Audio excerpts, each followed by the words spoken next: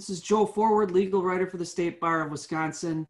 And I'm here once again with Judge Randy Koschnick. He's the director of Wisconsin State Courts. And we wanted to give members another update on what's happening with the Wisconsin court system um, and specifically a recent order that came down from the Wisconsin Supreme Court about court operation plans. Judge Koschnick, how are you? Welcome. Fine, Joe. I'm fine, thanks. Nice to see you again. You too. You too. So, Judge Koschnick, um, I know I've talked to you. I talked to you in March. I think we talked again in June um, about uh, just the progression of what's going on during COVID 19 and with the court system.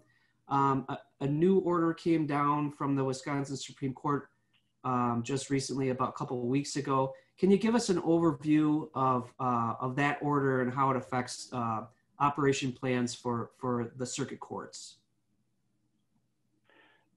Sure, I'd be, I'd be happy to. So brief overview, back in March and April, the state Supreme Court issued orders suspending in-person proceedings as a result of the COVID-19 pandemic, primarily to uh, protect the public and not require people to come to court in a situation where they might be exposed to the coronavirus.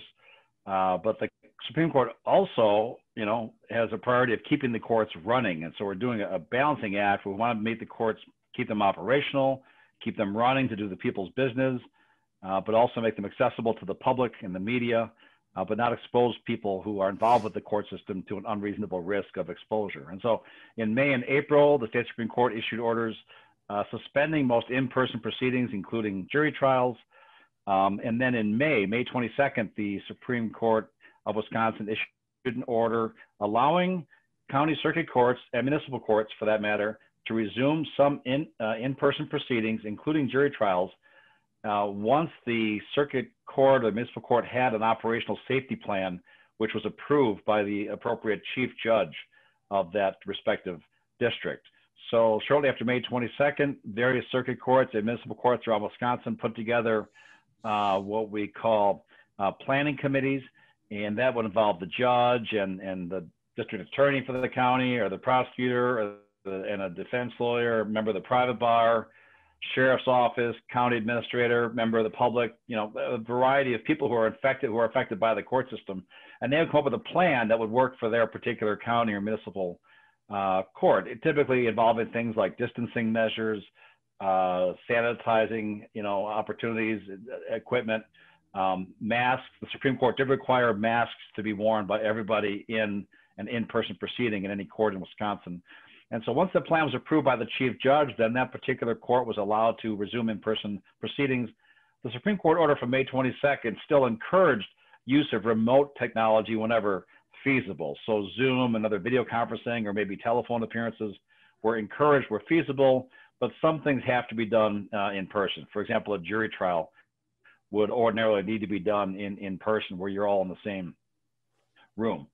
Uh, and so that was operating pretty well. Pretty much every court in the state had an operational plan approved by the chief judge by, uh, you know, September, late September, early October. So we all were hopeful. I think we're heading back towards what you might call normal or pre-COVID operations. Uh, but then what happened in uh, late September is we had some spikes, particularly in the Fox Valley, where there was a, a higher infection rate, a higher hospitalization rate, and uh, judges in a couple of those counties in the Fox Valley uh, determined that it might be appropriate to, to scale back the in-person proceedings a little bit, at least for a week or 10 days until we could see how serious this uh, spike was going to be. There were also practical problems. We were having a hard time staffing the, the courtrooms because the clerk of court's office or the DA's office or public defender's office or the judge's office, you know, if you had a person who was infected, you had to have a large group quarantine themselves to make sure that they also didn't get infected and go back and spread the coronavirus further. So we, we had a problem actually staffing the, the courtrooms. A number of things uh, led to, to a, a, desire to have uh, maybe take a step back in appropriate circumstances.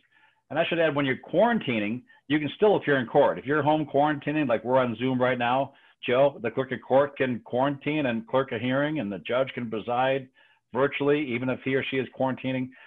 Uh, but the previous Supreme Court orders did not explicitly give chief judges authority to step back. The May 22nd order said to the chief judge, when you approve this order, that court in that circuit or that municipal court is allowed to resume in-person proceedings with these safeguards in place. And so I think what the Supreme Court was was trying to accomplish in their October 1st order, which is the one you referred to from a couple of weeks ago, they were saying uh, explicitly, chief judges do have authority in appropriate circumstances to step back on the on the in-person uh, proceedings as as circumstances uh, may require. Okay. And so moving forward for attorneys who are looking for information, they should should be looking at their the circuit court operational plans and then moving forward if there if if there is a spike or increased cases or something in a specific county the the chief judge will have authority then to to amend the operational plan and potentially um, halt temporarily in-person proceedings if that if that's what they think is required uh, moving forward. That's right.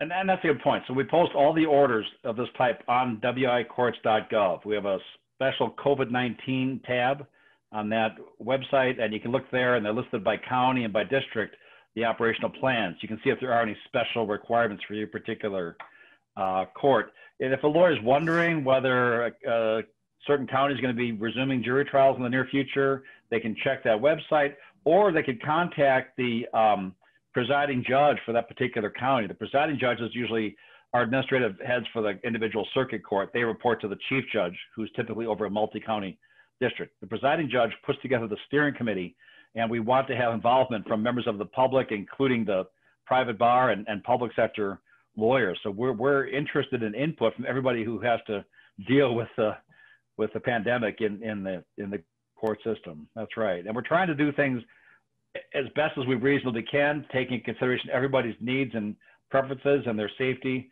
And so things do evolve as we've all learned pretty pretty quickly. So we're trying to remain flexible, uh, but also keep the courts running as efficiently as possible.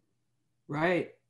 And, you mentioned the the website. I did notice that there's a that the the the the uh, Y Courts website is new. Can you talk a little bit about that?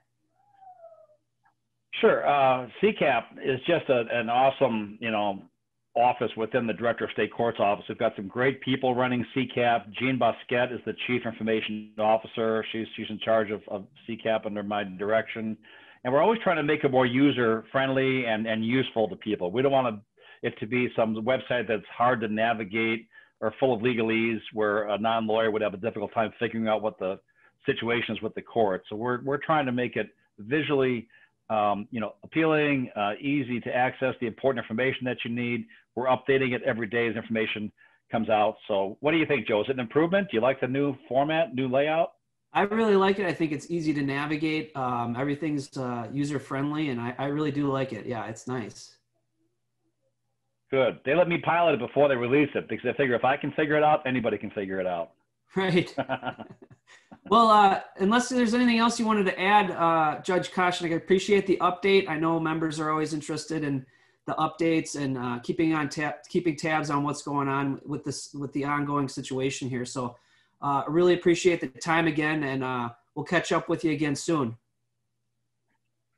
All right, thanks, Joe. And I appreciate the bar keeping in touch with us and spreading the news to the members of the bar and the public. And so you serve a very valuable function by doing that. And I appreciate the opportunity to meet with you whenever you'd like. And I appreciate you helping me spread the word. Great. Thanks a lot, Judge. Thank you.